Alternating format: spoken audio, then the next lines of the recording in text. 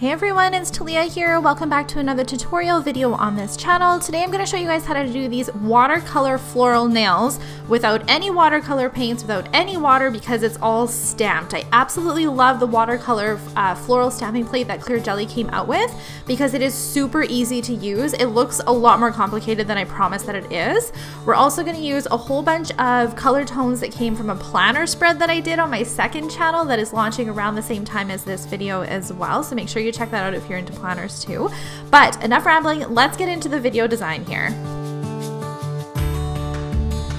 To start, her nails are all freshly prepped and ready to go and we're going to take some of our Fuzion Clear Base and just apply this all over her nails. This is going to act as a barrier in between the color gel that we're going to embed because we're using mostly Fuzion gels in this particular design. So we definitely want to make sure that we're embedding them because Fuzion color gels are designed to be embedded. This is my inspiration for this set because I love this color palette on my particular planner spread that I did for this week. On her pinky finger, I'm going to take Fuzion's Booked and Blessed, which is the perfect gray tone blue for this particular color palette. I love this blue. Like, I don't think I can tell you guys how much I love this color. So many of my clients are wearing it. I just think it's the perfect fall toned gray blue and it's definitely a popular color uh, for different things that I've seen out for like home decor or anything this year. It's definitely like a color of fall for this year, I feel like.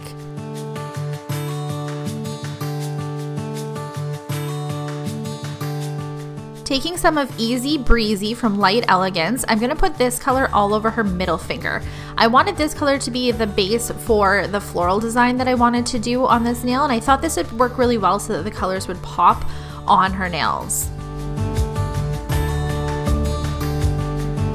Fuzions Rooibos. I hope I'm saying that right. I feel like I might be pronouncing that one right though. I'm to take this one all over the ring finger, but I'm also to put it on the thumbnail because I love this color so much. It's actually the color that I'm wearing on my nails in this video, and I never got tired of wearing this color. It is so, so beautiful. Originally, I had planned to, in my mind, put Swarovski crystals on top of this nail, but as the design goes on, I wanted more watercolor flowers, so we are to put flowers on top of this, and we're to tie in some of the different colors from the other color palette that we're using. Fuzion's Rum Butter is one of my hands down favorite gold color gels that there is. I just love the color of it because it's not too yellow. It's more of like a champagne gold. It's beautiful. It's so nice for marbling as well. Any of these type of pearl finish colors will definitely show any imperfections that you have in the nails though. So for colors like this, I like to do the sandwich technique where you embed a color gel and, then after the finished file, you go in with one more coat. And I thought maybe if I did a second coat right now in the design that it would have like evened out any of those imperfections, but it didn't. So I'm to end up going in um, and doing the sandwich technique on this particular nail. I am embedding all of these nails with Fuzion's SL Clear. I am hands down loving this gel right now. So after I have finished file the nails, I'm gonna go in with these little pink buffers here and just kind of smooth out the nail a little bit more. I'm gonna take this brush, which is from Clear Jelly, and just remove any of that dust. I have alcohol on my brush as well. That's why it's like wet and taking everything off really well. You wanna make sure that your nails are nice and smooth, but to prevent showing any of those file marks in the design, this is my technique that I like to use. So I'm gonna take some of Light Elegance's tack and I'm gonna go all over the finished file nail. I'm gonna cure it then I'm going to take this brush here, which is the number six Simply Simmons brush that I get from Michaels. These are my favorite brushes to use for color on top and I'm just gonna paint a super thin layer of this on top of the finished file nail. This will uh, smooth everything out and make it look a lot more even, but again, keep in mind that any brush strokes or lumps and bumps that are in your nail are gonna th show through with pearl colors such as this. I wanted to show you guys a little glimpse as to what the watercolor palette looks like from Clear Jelly. So when you first look at it, it honestly looks like it's just kind of a mess right there. Like all of the different images maybe don't really make sense, but that is the beauty of this palette because you don't have to line everything up perfectly. So this is the array of different polishes that we're going to use. I'll do my best to leave in the description box below the numbers that we're using. And I just want to stamp some bigger flowers on the nails using complementary colors. So I put down uh, like a grayish blue base and then a light blue base on top of it. And then I'm going to do black for the center and then I'm going to go in with a bunch of greenery. I feel like the greenery really makes any sort of floral design. Like even if you don't want to put green on it or your clients don't request green, I feel like floral designs look a lot better if you just bite the bullet and put them on. So in this nail, we're actually going to put a lot of green on this particular nail. I loved this nail. This is probably one of my favorite nails out of the entire design.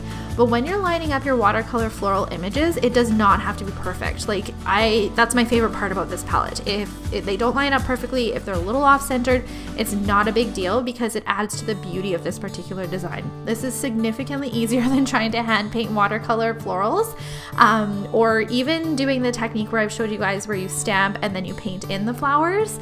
Uh, this is just so much easier. So if you're wanting the watercolor look and you're unsure of how to get it, this stamp is 100% for you.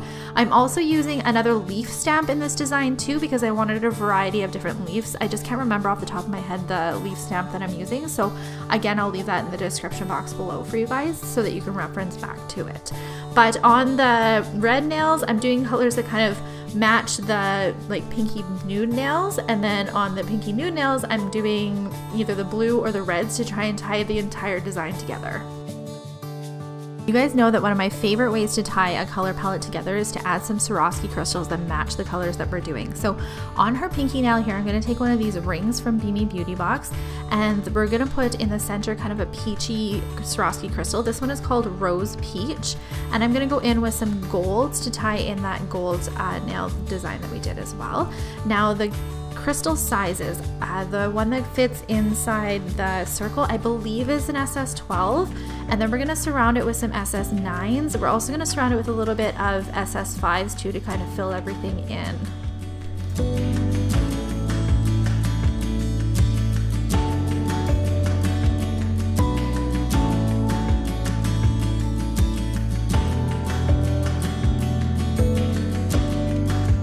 I also want to add some Swarovski crystals to the thumbnail. So because it's a red kind of maroon base, I'm going to go in with some of the blue and the gold crystals as well as some of those peachy ones to tie all of the tones together.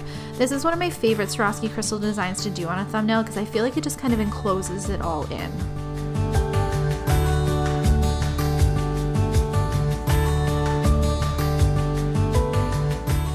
On her pinky nail, I'm to go in and do a, a, different crystal design than I did on the other pinky.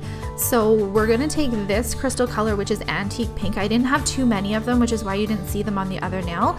I love this one and it matches that Fuzions Rooibos or any type of maroon colors perfectly.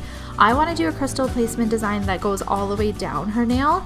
So whenever you do designs like this, I like to start with the biggest one in the middle first, and then that way you can add your smaller ones in as you go. Because even if you were to stop right there, because you didn't have enough room to fit another crystal in, let's say, it would still look good because you had started with the big one in the center. My last step is to top gloss over the entire nail design. Make sure when you're top glossing around Swarovski crystals that you're doing your best to surround them and not get top gloss on them because they will dull them. And then I like to double coat over top of uh, any stamping design because this way if you have any separating on your stamping design it won't show through. But also that's a lot of polish sitting on that nail and you don't want to have any chipping so if you double gloss it then it'll prevent chipping with this as well.